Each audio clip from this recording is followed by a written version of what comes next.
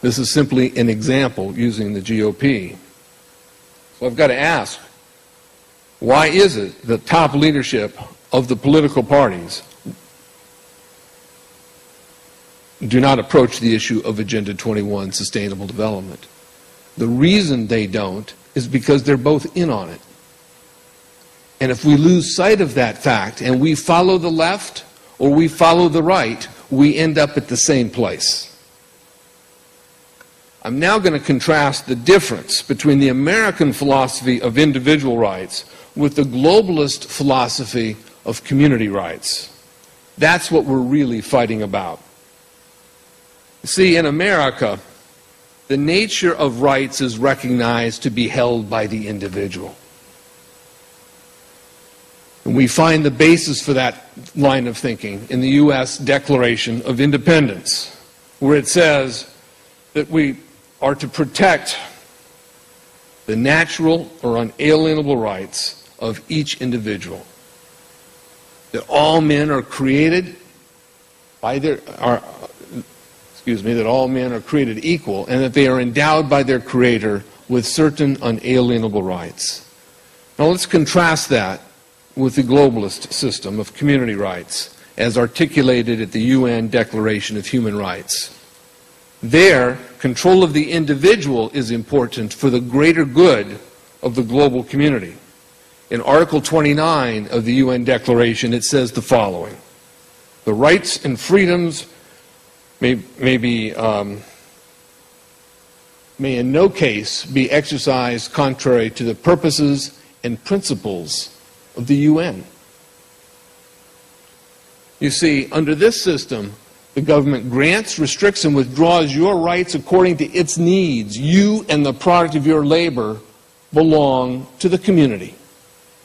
Let's contrast that with the U.S. dynamic where you're born with rights. Government exists to protect those rights. You and your work are yours.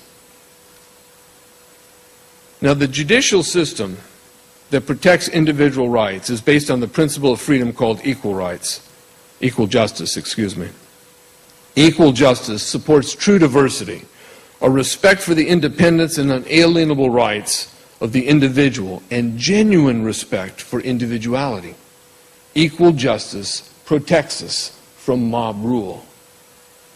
A system of human rights or community rights operates to pursue social justice, which can be defined as law formulated to obtain government's social objectives at the expense of individual liberty. The Sustainable Development Agenda is based on the principle that the collective good and democracy are more important than individual rights. That is in direct opposition to the cornerstone principle of equal justice.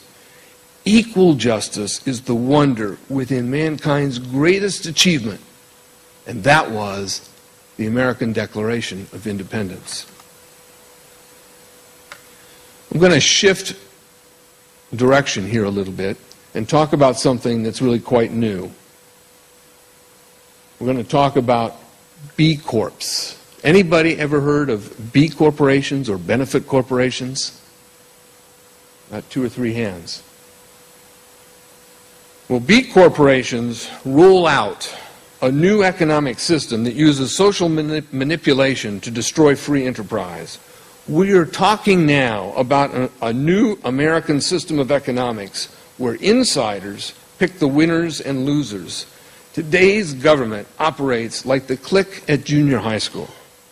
Cool is in, everybody else is excluded. Just this month, Governor Brown signed AB 361, a bill that will ultimately wipe out independent and private business in California.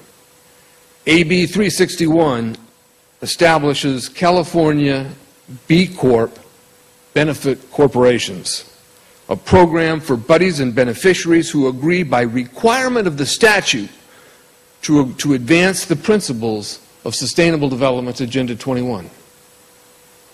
Benefit corporations and B Corps are a new kind of corporation and business sector that purports to use, this is their quote, the power of business to solve social and environmental problems, unquote.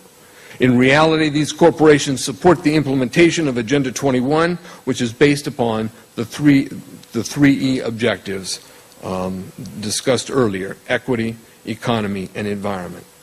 Other terms for the same objectives are people, planet, and profit, or triple bottom line.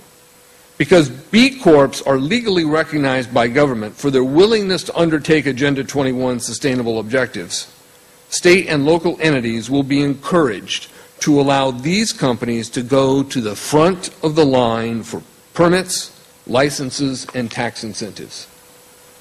The corporations that refuse to become benefit corporations will simply have to wait. Of course, eventually it will be the big companies that get all the favors from government by going along with B Corps. Government uses these elite businesses to accomplish their social engineering ideals and to acquire more power without having to answer to voters. We can see here the change we seek, they say, certified B corporations. The company that will support B Labs, uh, uh, the company will support B Labs public policy objectives. It was a company called B Labs, three Stanford grads, who are taking this concept all across the country. You see that they talk about incentives for certified sustainable businesses. You see you're going to get a certification in sustainability just to show that you're going along, just like Schindler did. The whole B Corp idea is about creating incentives for the buddies and beneficiaries of the new economic order. To indicate the establishment of global governance policies into our state legislature, take notice of the B Corporation's Declaration of Interdependence. I've heard that term before because I know every grammar school in the California public school system talks about our interdependence. Our children are being raised in our schools to an entirely different philosophical premise.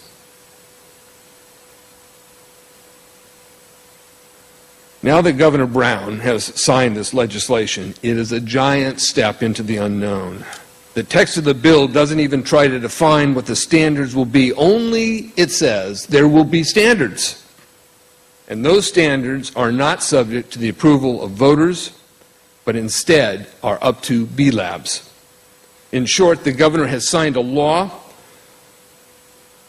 a bill that has the potential to give economic carte blanche to a group or organization that the public has neither vetted nor approved. To date, seven states have passed B Corp legislation California, Hawaii, Maryland, New Jersey. Somebody said that governor was special. New York, Vermont, and Virginia. Already, Colorado, Michigan, North Carolina, and Pennsylvania have legislation pending. Globalism is on the march. We have more on B corporations at our website. In particular, Stephen Poole has written a comprehensive four part article entitled Benefit Corporations expansion of the public private fascist state.